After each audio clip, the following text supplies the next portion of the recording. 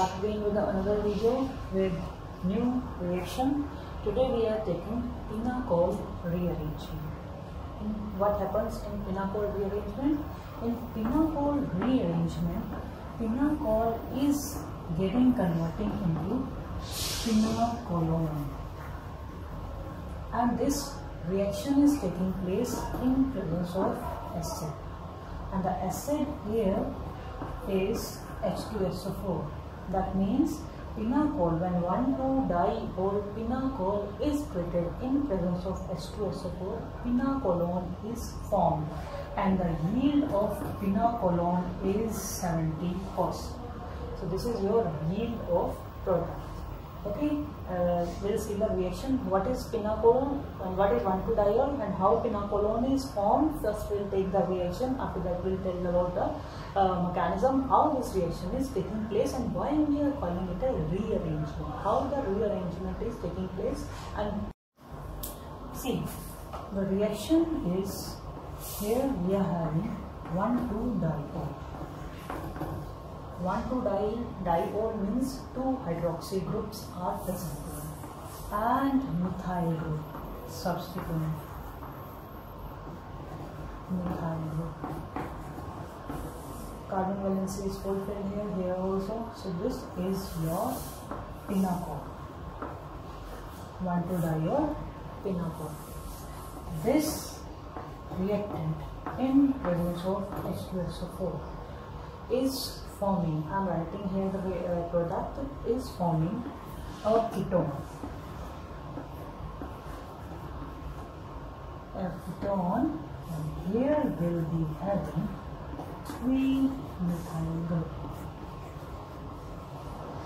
So this is your product and this is your pinacolone. This is your pinacolone from pinacol. This is the reaction. Now we'll uh, talk about the mechanism. See, here we are taking acid. Whenever there is an acid, how can you forget about carbocation? That means there will be the formation of carbocation. So let's see the mechanism. Mechanism now. See, I have I was saying that whenever there is acid, there will be formation of carbocation if carbocation formation is taking place, that means first step will be here, protonation. Why we are saying protonation? Because we have two hydroxyl group. That means protonation of one hydroxyl group allows, uh, th that means there will be protonation of one hydroxyl group. See how.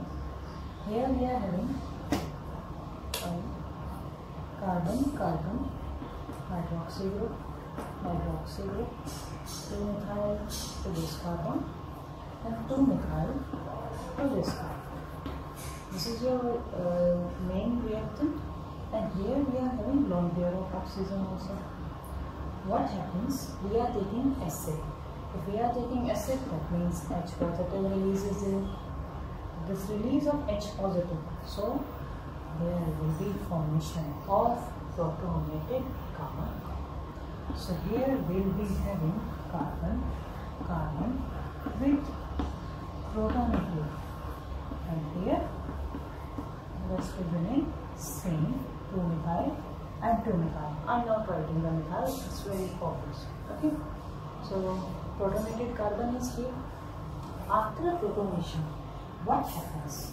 This uh, protonation of one hydroxyl group is there. It is unstable now. Its instability. What will, what will happen here? You just uh, think about it. but it is unstable now, and instability will lead to removal of water molecule. Your uh, next step here, removal of water molecule will be there, and formation of carbocation will take place. So here we are methyl and here. Although if not write it's very much obvious that these are methyl, we represent them as it is. So there will be formation of carbocation.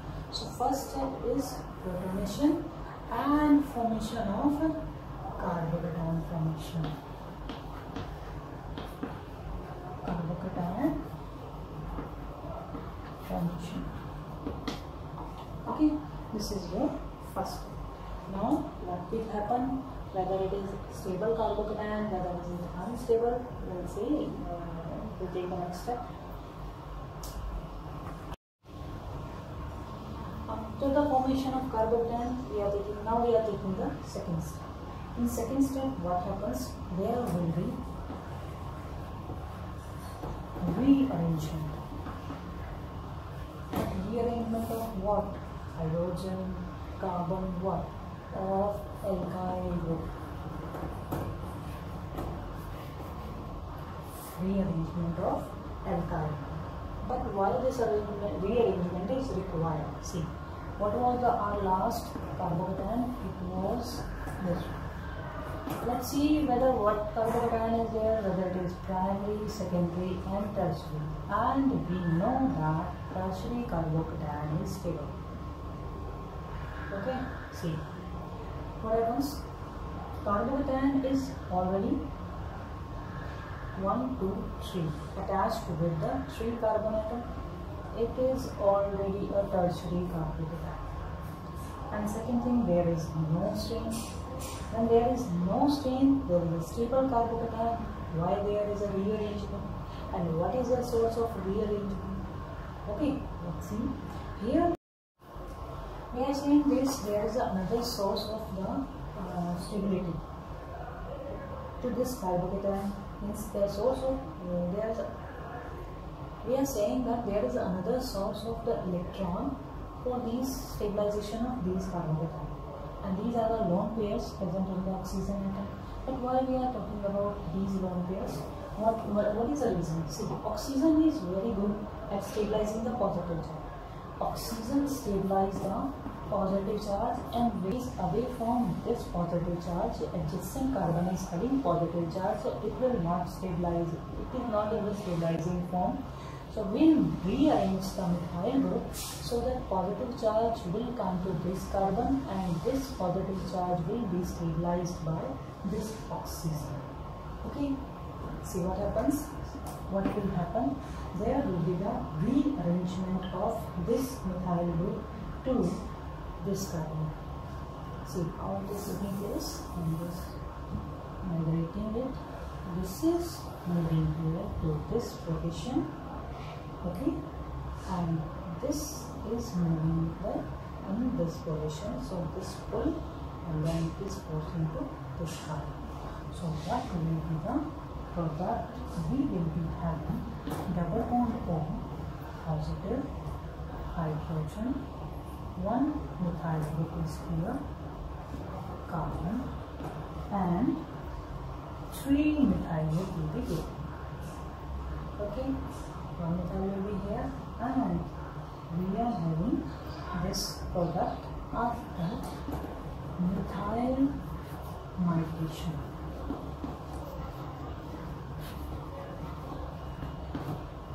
okay now what happens by the loss of proton, this oxygen then gives a stable ketone.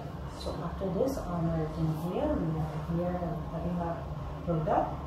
What will be product? Here will be having double bond O, methyl, methyl, methyl, methyl. So this is your pinacolone. Pinacolone after loss of proton.